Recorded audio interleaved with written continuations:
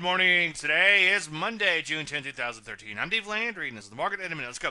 Well, piece had an okay day in here, up about a percent and a quarter. As you can see, bouncing nicely off the 50 day moving average, and so far, continuing to rally out of its recent pullback. You know the routine, though, one day at a time, but so far, so good. NASDAQ had a decent day, too, up about a percent and a third. What you need to look at with these indices is they're not that far away. In fact, NASDAQ's less than 1% from new closing highs. So, as I've been saying, you want to continue to err on the side of the longer term trend. It's early market had an okay day, as uh, indicated by the Russell, up about three quarters of a percent. So far, longer term uptrend remains intact there too. You know the routine though. Wait for entries on new positions and not on your stops on existing ones. Any questions, as usual, Dave at DaveLandry.com. I'm Dave Landry, and you turn the market a minute.